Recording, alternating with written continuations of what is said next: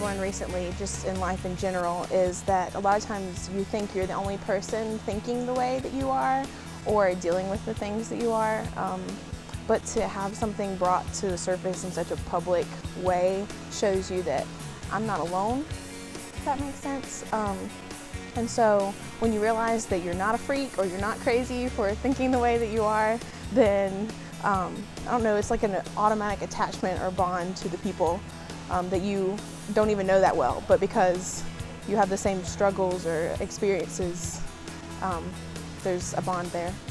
Lips is a club as well as a publication and it's a place for anyone to come talk about sex. Anyone can join the club. We basically uh, try and advocate for sex positive uh, environments and backlash against um, an idealized or capitalized view of females and the way female bodies should look. I've definitely seen that girls are willing to speak more. Uh, the more we talk about sex, uh, the more personal the topics get.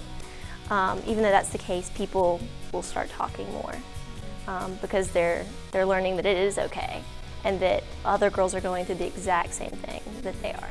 Collective culture is very like centered on male sexuality.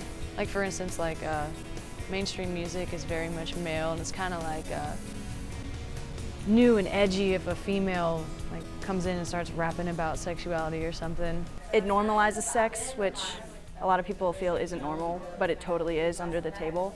And uh, you can also learn a lot about sex ed, about yourself, and treating yourself and not feeling bad about your sexuality, which you can't help.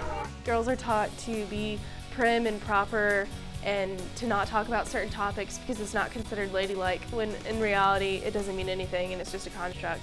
And people shouldn't be confined by that. So I think LIPS is trying to advocate and push for people to be uh, more open and not dictate what they say based on like what's between their legs. And for people also, you know, to talk to people on campus and be more open to people about like sex and sexuality and not have it like hidden underneath the blanket. It's like a huge part of life. It's a huge drive. People are sexual.